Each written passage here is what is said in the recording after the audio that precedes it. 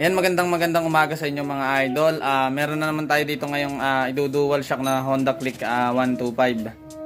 Yan, itong Honda Click 125 mga idol, naka-disc brake na rin. Yan, eh, titignan natin. Babaguhin natin yung bracket niya mga idol at uh, medyo maingay daw yung pagkakagawa ng kanyang disc brake conversion.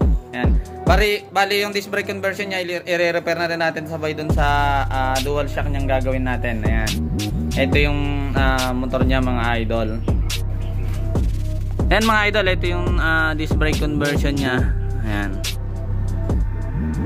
Kasi ito yung pagkakagawa ng bracket, syempre hindi natin to pwedeng isama dun sa bracket ko kaya babaguhin natin. Yung bracket ko kasi nakapix sa dito sa swing arm mga idol. Kung napapanood nyo yung mga gawa namin, nakapix siya dito. Kaya hindi natin to pwedeng uh, pagsamahin yung gawa nitong ayan ah. Ayan. Ito kasi nakaganyan lang. Ayan. Tingnan natin mamaya kung ano magiging itsura nito mga idol pag nayari natin. Ayan. Oh. Ayan mga idol, ito yung washer niya dito. Ah, bali ito tatanggalin na rin natin to. Tapos dito, ayan makikita nyo. Ayan may washer pa dalawa ulit. Tatanggalin na rin natin yan, ibabalik natin doon sa original na spacer niya. Ayan. Meron siyang dalawang malalaking uh, washer. Bali ito na yung natanggal natin.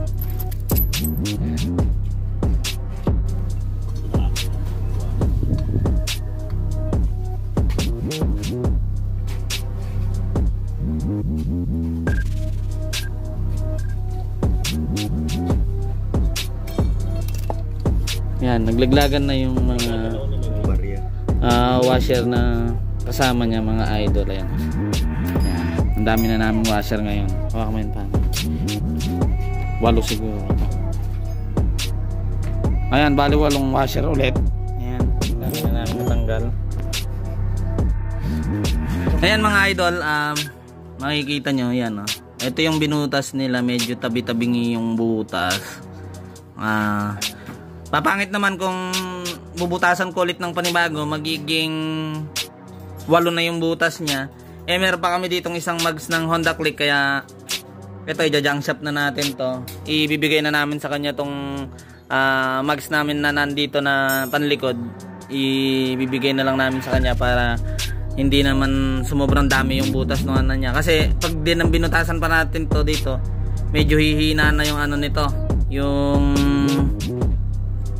yung pinakagitna ng mags kasi syempre dadami na siyang ganon yan.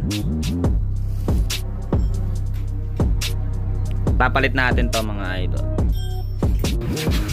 Yan mapatanggal muna natin yung gulong mga idol. Hindi na yung ano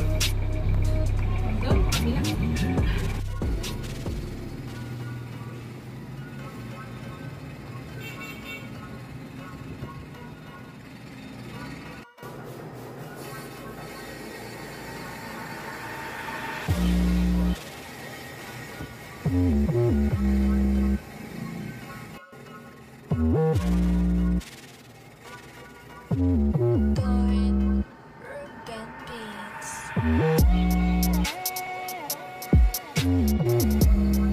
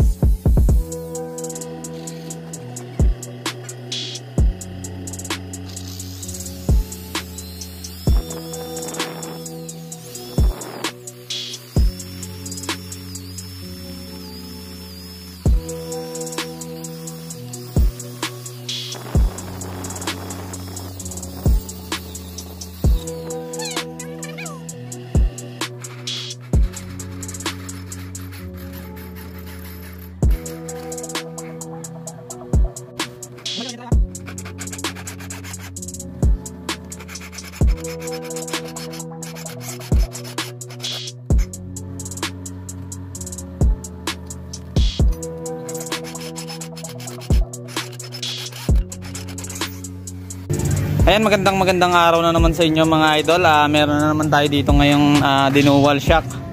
Gamit niya ang shock mga idol KYB. Ayan.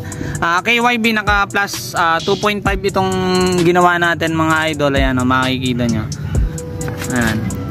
Ayan.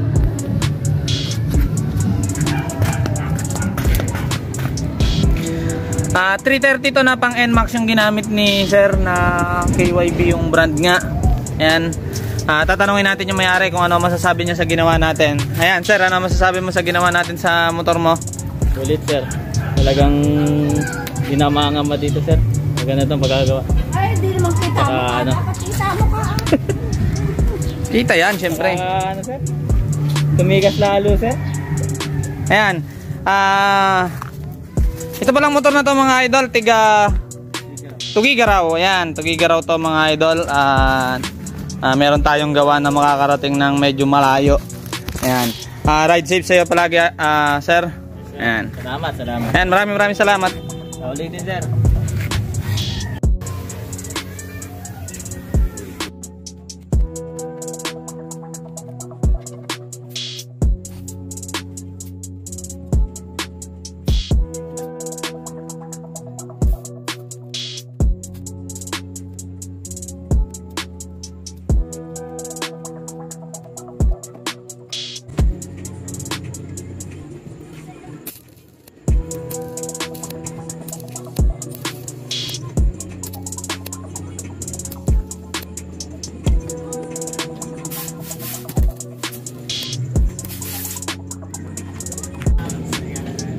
Okay na. Tiga sasabi ng mga comment dito.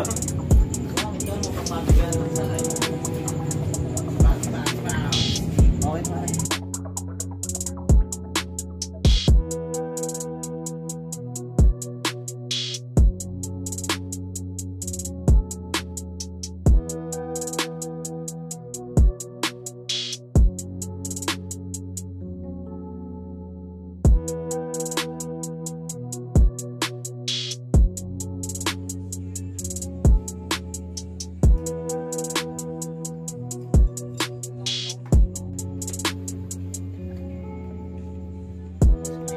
Ayan, magandang magandang gabi sa inyo mga idol. Ah, ito na naman yung isa sa ginawa natin ngayon na dual shock. Tapos ah, nirepair natin yung ah, disc brake conversion niya na dalawang araw pa lang niyang nagagamit mga idol. Dalawang araw ah, mula nung pinagawa niya. Ah, hindi komportable yung may-ari kaya ah, pina-repair na rin niya dito. Ah, ito na yung ah, resulta ng pagkakagawa natin mga idol. Ayan.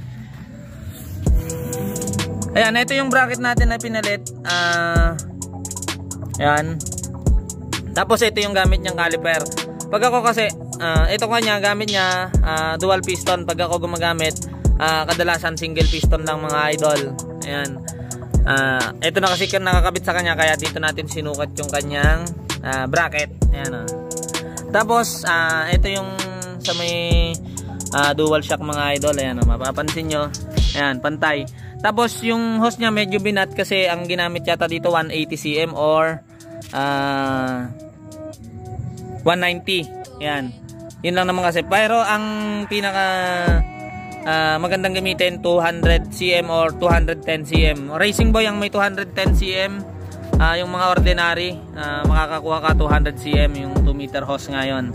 Ah, Siyempre tatanungin natin yung may-ari kung ano masasabi niya sa ah, ginawa natin sa motor niya. Ayan, sir, ano masasabi mo sa ginawa natin sa motor mo? Ah, so thank you yung thank you kasi gumanda yung performance tapos maganda yung play ngayon and then smooth smooth yung takbo ko tsaka tumahimik dahil dun, sa, yun, dun nga sa ah, kinabit sa akin last time dalawang araw parang sira na or medyo pangat yung performance so salamat idol ah, the modified talagang recommended Ayan. thank you Ayan yung kasing ah, display niya, hindi na namin pinakinabangan kasi ah, nabengkong na din. Kaya pinalitan na namin ng bago. Ayan, kahit nakatorno na yung mags niya, yung ah, kinabit namin yung kanyang ah, display, ah, gewang-gewang na. Kaya yon pinalitan na natin ng mas bago. Ayan, tapos pinapalitan ko na din ng ah, brake pad para yung kain niya bago na rin. Kasi yung ang unang kabit eh hindi maganda yung pagkakakain ng ah, brake pad niya mga idol. Yan Ah dito naman mga idol kasi ah, hindi ka hindi sakto lagi yung nasa may ilalim kaya pinapapalitan lang natin ng mas mahaba pero yung spacer niyan ah, ibinigay na natin sa kanya ikakabit niya na lang yan